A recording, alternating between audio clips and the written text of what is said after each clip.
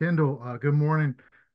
Um, defensively, what do you think you bring to the starting lineup? And did you guys do anything different defensively with you starting as opposed to coming off the bench? Uh, no, just starting the game defensively, having that defensive mindset just to start the game. I think it really sets the edge for our team just to continue to play. Thomas, follow up. Okay. Uh, and you had started what 15 games, I think, for UTA last year.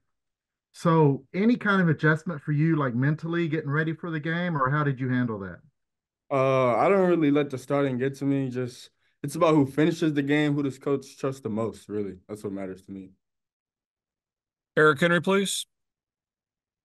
Hey, Chendall. When we spoke in October, you talked about one of the things you want to work on being your defensive communication. Just wondering, A, how you feel you've grown as a defender from October to now. And second part of that question, was there ever a moment when it just clicked for you this season and was like, all right, you know, I, I can really make my name, my calling card on defense this year for this team?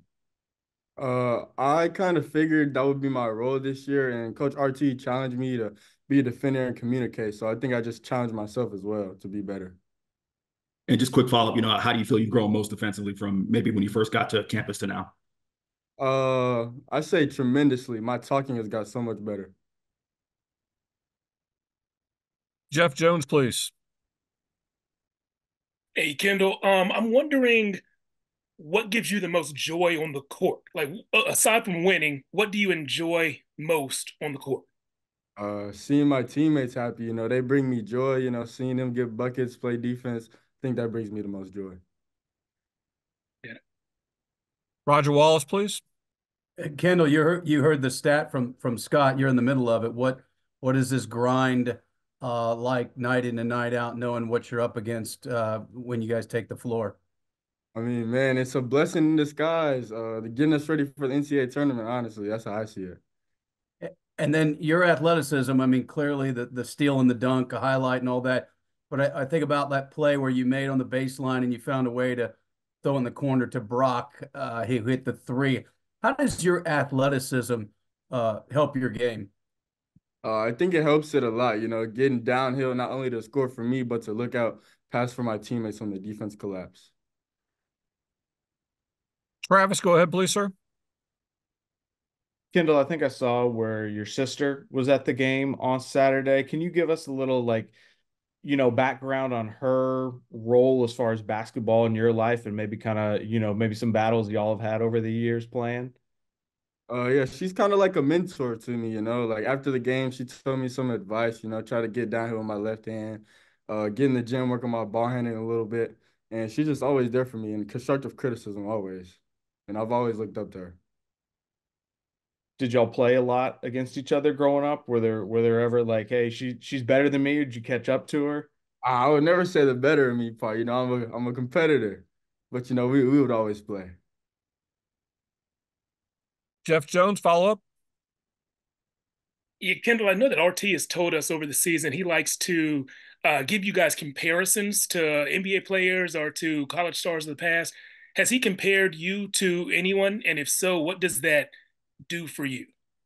Um, I've kind of got the the Avery Bradley comparison, the the defense, you know, to be the ball hawk, you know, and that really uh boosts my confidence. You know, I went and watched some Avery Avery Bradley highlights at Texas, honestly. So I just trying to mimic his game a little bit. Dennis, go ahead, please, sir. Chendall, where where does your motor, your want to, your hunger, where where does that come from? Can you take yourself back to when it, it got instilled in you? Uh, it's just always having a chip on my shoulder. You know, I wasn't really highly recruited out of high school, so just being able to play at this level, you know, you always got to have a chip on your shoulder. Do, do you? I know it's cliche a lot of times when people always think they're outworking the other guy, but for you, it seems like you're outworking the other guy. Like, eh, how important is that piece to your game? Uh, it's very important. You know, I just try to outwork myself. Honestly, you know, always push myself to the next level. Thanks. Never get too comfortable. Thomas Jones, go ahead, please. Uh, quick, quick follow up with, with your sister. Like you mentioned, she's telling you, "Hey, go to your left when you can." What's what's probably some of the best basketball advice you've gotten from her? Man, off the top of my head, uh, I don't know. I just say be you, you know. Just do it, go out there and do what you do is honestly the best advice. Good afternoon, RT. Uh, just want to ask, what's one area that you've seen this team grow the most from the beginning of the season to now? And follow up on that, what's one area that you would like to see them grow between now and the end of the year? Well, I think defensively, you know, I think uh, I think we've we've grown over the course of the season uh, from where we started at the very beginning to when we got to mid year. Um, I think you know where we are right now. I think we're playing with more of an urgency. Uh, we're playing like a you know a scrappy team, a team that uh, you know tries to play extremely hard on that end of the floor, and understanding that uh, that in order to win games in the Big Twelve, you got to be a really good defensive team, and you got to work really hard at it, finishing possessions, trying to put consecutive stops together. Um, you know, so I not I do think again we're we're continuing to get better with that. Our rim protection is coming right now, uh, and, and getting better over the course of this season as well. Uh, we didn't have a whole lot of rim protection early in the year, and we're getting we're getting uh, getting better in that that area. I think our guards are doing a better job of standing in front of the basketball um, o- over the course of the season right now from a defensive standpoint. So, to me, that's been the biggest area that uh, that I think we've grown. Um, you know, anytime you can win 50-50 game where you're the first to the floor, gives yourself a chance to win in this league uh, as well. I'd like to also uh, congratulate our women's uh, basketball team on the week they just had. I mean, they played two top teams in the country, beat one on their home court, and uh, had a really big win here yesterday uh, against K State. Vic's done a done an outstanding job this year, and uh, they, uh, they they have a great season uh, going for them right now. Look for them to go really far in March. Terry Middleton, please. Coach Terry, good afternoon. Thanks for spending time with us. So I have a question on Max Abmas. He consistent. He's always like you said before. He's all you can count on him putting up his numbers.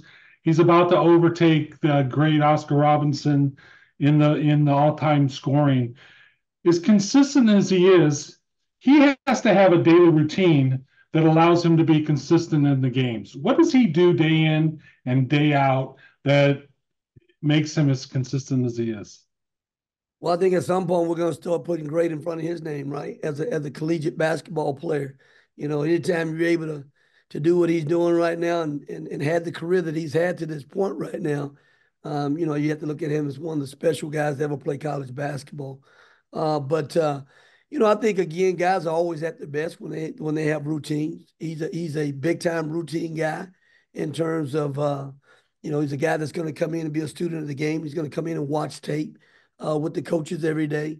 Uh, he's going to come in and put the work in with his ball handling every day, along with his shooting. Um, he's gotten to a point where he's worked on his defense a little bit as well, and things. But he's just uh, he he works on his craft. You know, I always tell guys all the time. You know, you reap what you sow uh, in life. You know, and what you put into it, what you're going to get out of the game. And uh, he's been one of those guys over the course of his career that's always had a great routine. You know, he, you know, we practiced earlier this morning here. He'll go to class. He'll come back this afternoon. He'll watch tape, and uh, he'll get back in the gym and get some shots up. Thank you. Thomas Jones, please. R- RT, you know, starting Chendall, did that change your defensive strategy at all? It seemed like y'all were ball pressuring a little bit more and a little bit earlier up top. And then I have a follow up on, on Chendall. Yeah, Thomas, I think um, you know I don't know if it necessarily changed our strategy. I mean, we've tried to tried to be a, uh, a hard nosed defensive team all year and try to get off get off to a great start, especially on that end of the floor uh, every night. You know, I think in games you have to make adjustments, and uh, I know early in that game they were really hurting us with points in the paint, and uh, in particular in pick and roll points in the paint, and uh, so we had to make a decision that you know, either we were going to continue to, to be the victim or, or we were going to come out and start trying to be a little bit more aggressive. And I think we decided to be a little bit more aggressive. And, and his sister, she's an elite level basketball player. Does he ever talk about her and any lessons he learned from her? You know, not directly to myself. I know throughout the recruiting process, we talked about it and visited with he and his mom both, both about her opportunities, where she was, you know, where she was, and the time that she got a chance to develop at A and M. uh, and everything. And you know, we tried to present the same type of opportunity for for Chendall here at Texas. You know, where he's going to have a chance to come in and uh, continue to develop. You know, at a higher level. You know, he was at UTA the year before, and he was WAC freshman of the year, but he was going to be stepping up a level and you know, just hopefully trusting us that we were going to continue to try to develop him both offensively and defensively. Jeff Jones, please. Uh, RT, you've told us over the season uh, how often you put together videos of, of comparisons to your current players, to NBA guys or former college players. Why is that important to do? What's the philosophy behind that? Well, I think, you know, obviously those guys watch a lot of NBA, you know, uh, what they have an aspiration uh, to do uh, in the future is try to play at that level as well. So, you know, if you're able to come up with a really good NBA comp for a guy currently that he can watch closely and try to tr- see if he can emulate and see if he can be that type of guy, I think that gives him something to shoot for. We also have a number of different NBA, former NBA players at Texas, you know, that we can also, um, you know, refer back to guys and say, hey, man, you know what? When we coached this guy here at Texas, and, uh, you know, I'm fortunate enough to have been here and we had a lot of good pros uh, when I was here, you know. And one in particular that I've tried to really try to instill in him was Avery Bradley. You know, AB, we recruited AB out of Seattle. He came in as number one recruit in the country. Uh, and his calling card was defense, you know, and he made himself an elite level player as an AAU prospect with his defense. You know, we knew his offense was going to be ahead of him in the future. And we're going to continue to work on him, work with him offensively to continue to get better. But, you know, AB was one of the quickest guys we ever coached on the ball, quickest guy to make a recovery. And he took a lot of pride in his defense. And uh, I don't know, I think AB played 10 years, 11 years in the NBA, won a world championship with the Lakers, and uh, was a pretty good player for us for one year at Texas, you know, and stuff. So, you know, they could see a guy that had been in that same jersey and doing some of the same things that we're asking him to do AB did for us as well at a high level. Follow up, Jeff? Uh, yes, please. So you said Chendall's comp is AB. I think you told us uh, Ze'Rik's comp was Kenneth Faried. Um, who who are some of the other comps on the team? oh man, you know what? I, I think what I really try to work hard with Tyrese and uh, and Max. Those guys are going to be they'll be fine from an offensive standpoint. Defensively, moving forward in the future, you know, we've shown guys like Fred, Fred VanVleet, a guy that sits down and guards hard. Alvarado played at Georgia Tech, a guard that's pretty good. That you know, calling card was on defense. Talked a lot about Carter that played at West Virginia. You know, and we showed him also um, the kid that played at West Virginia is playing with the Knicks right now as well. Um, yeah, that's uh, McBride. Yeah, McBride. He's about six one, six two. So those have been guys that we made edits of and showed those guys some next level guys. Um, you know, and guys that play here. We have Dogus Balbay on our staff, so that's working with us now a little bit and stuff. So can't can't discount Dogus. Dogus is one of the best on ball defenders we ever had at Texas. Dennis, go ahead, please, sir. Coach, you talked about how Chendall's defense, you know, jumped off the page when you were recruiting him. Did, could you sense his heart and his motor through that process? Did it jump out at you? Oh, Beard and I saw him playing a state championship game. Uh, we lost that in the first round of the Big 12 tournament. So we were we were able to get a front row seat watching him as a youngster in high school.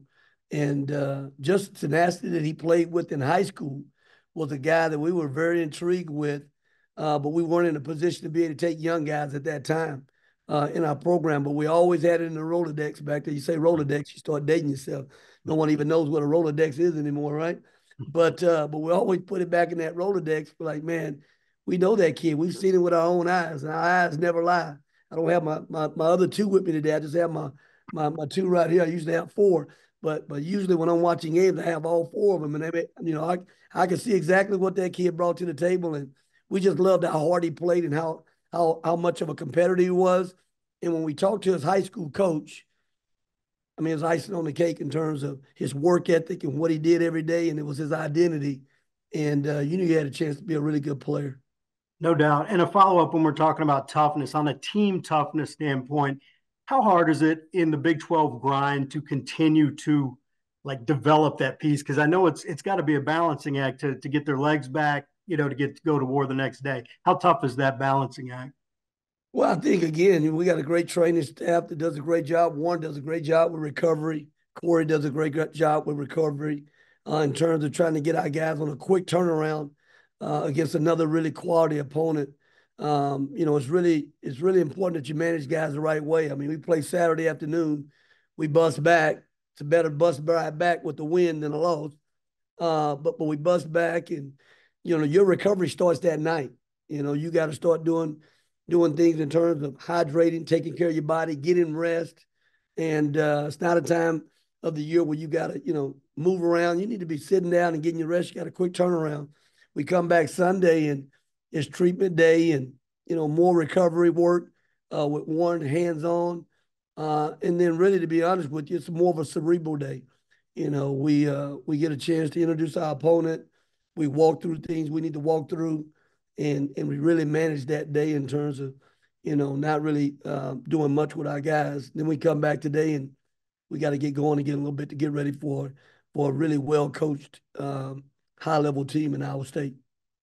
Cedric, please.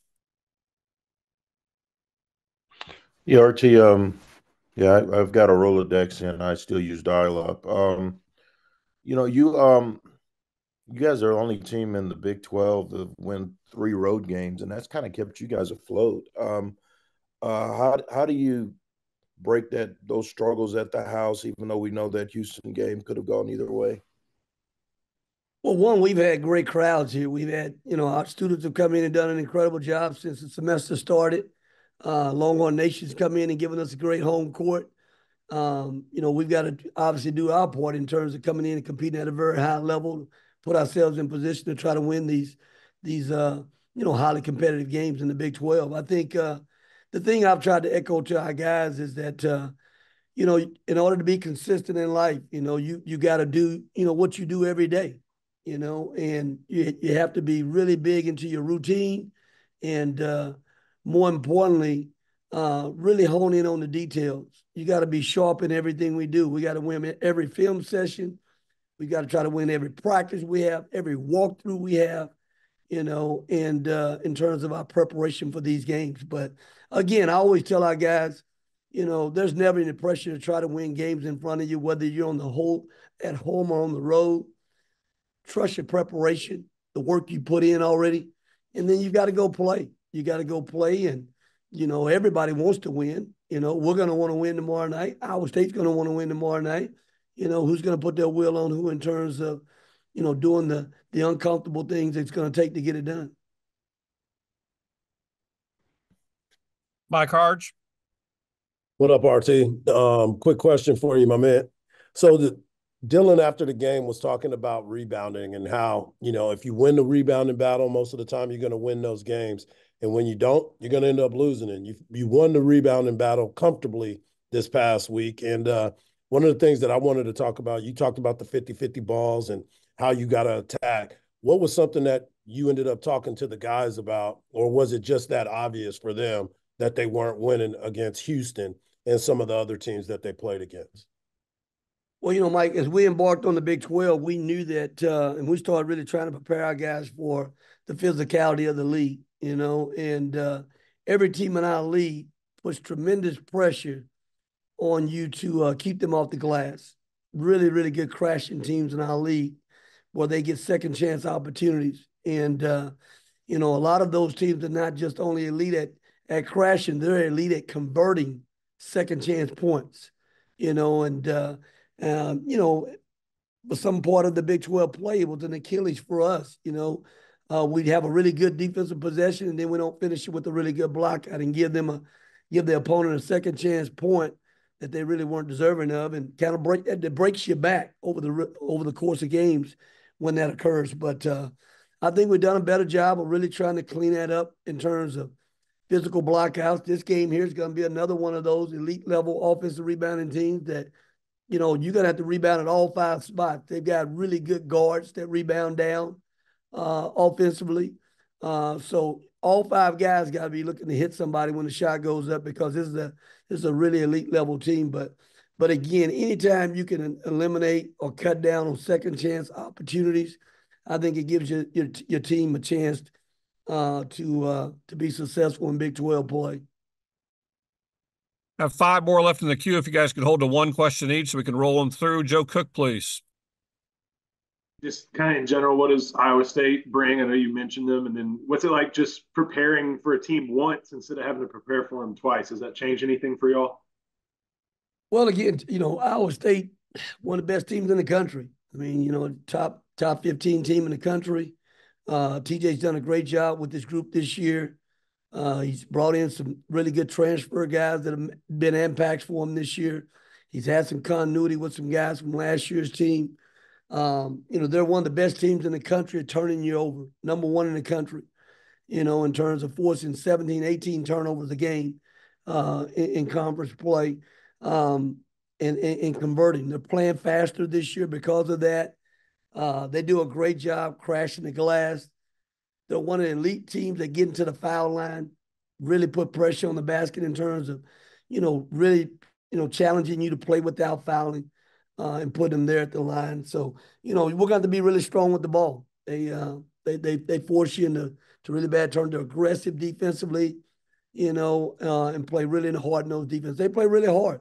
They play a lot like we try to play in terms of being being a scrappy, hard playing team. And uh, he, he's got his team to do that at a very high level. Kirk, go ahead. Uh, Rodney, you mentioned uh, Dogus Balbay's on your staff. I was, I was curious how that came about and what's his role. And uh, are you going to start recruiting Turkey more? Recruiting Turkey. Well, you know what? Dogus is one of those guys that, that come back this. He came back this summer, and uh, we're still trying to decide whether or not he was going to retire or play one more season.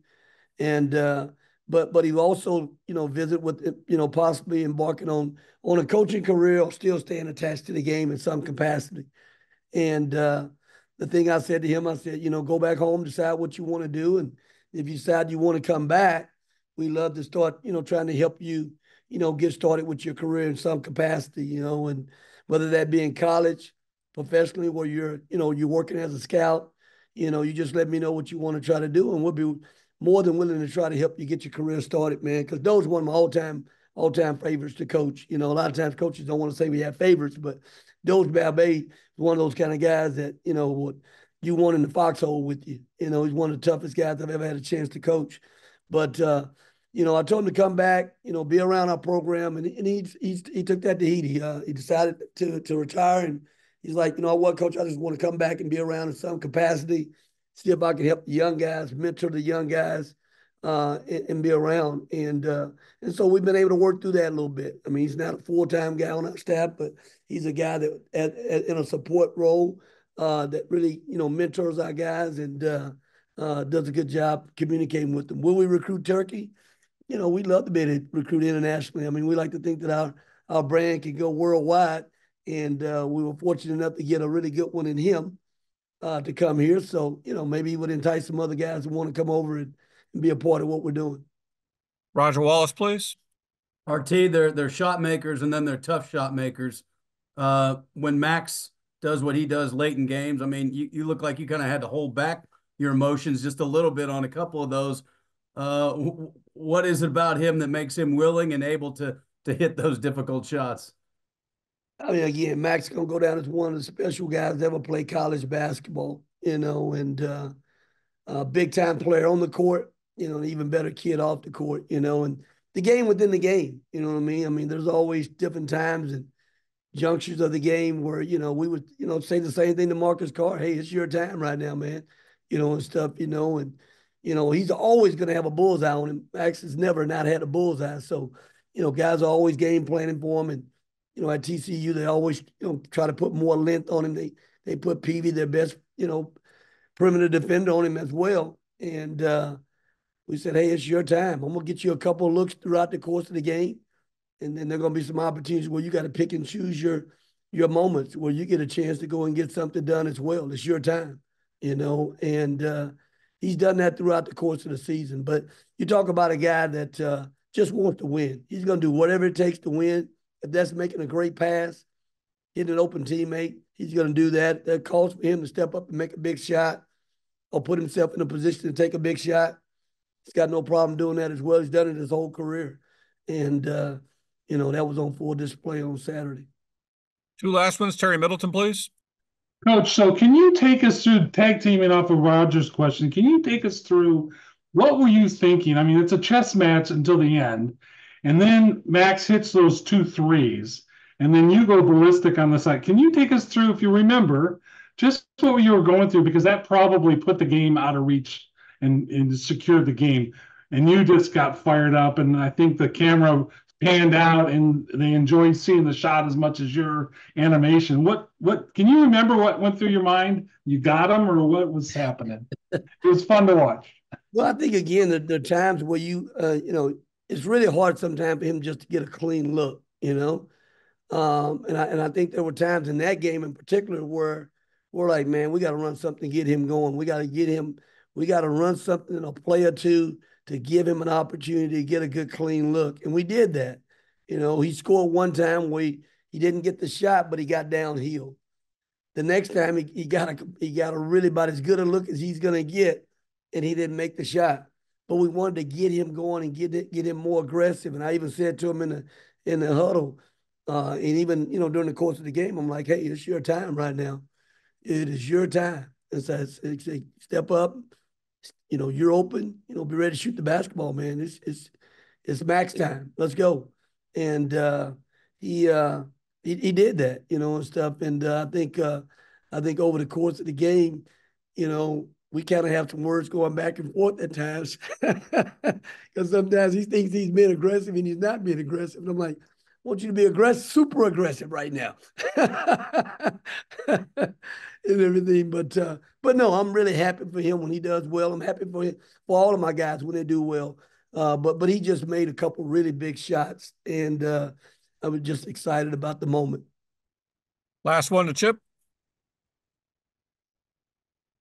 RT, it seems like when you have uh, Hunter and Weaver on the floor together, you can really, you know, apply some some ball pressure, extend your your perimeter defense. Can you just talk about that and how that's evolved?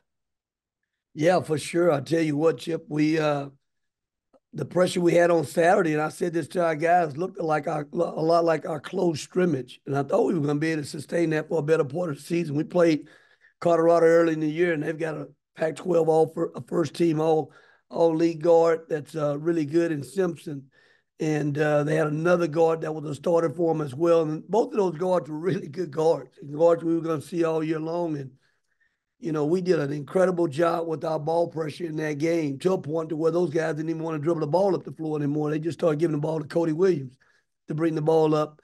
And, uh, and I was like, man, we're going to have some kind of ball pressure all year if we're able to sustain that and be able to do that. But but last Saturday looked a lot like we did at the start of the year in terms of pressure up the floor and one-on-one defense up the floor and uh, Tyrese those guys giving giving other guards, opposing guards, a lot of problems, just kind of getting into their offense. You know, TCU had a hard time getting into their offense on Saturday because of our ball pressure. But, you know, over the course of the season, over the course of a game, it's easier said than done. You don't want to wear these guys out a little bit too and things, you know. Um, we have some depth, uh, but but we want to be able to have some of our frontline guys be able to play and have their legs when it's time for them to make shots and make plays as well at the end of the game. That's what we got time for. Thanks everybody for joining us. Appreciate hopping on early. One quick thing on Max. Uh, I don't want to get lost in the shuffle. I know people are excited about his 13 straight points in the game. Going back to the start of that run, uh, if you guys wouldn't mind taking a look at his defensive strip that he had on Emmanuel Miller on that layup, uh, and then save and bounce to Chendall Weaver, that kind of started things before his three point play on there. So if you guys don't mind uh, making sure that doesn't get lost in the shuffle, appreciate. RT, thank you. Okay, thank you guys.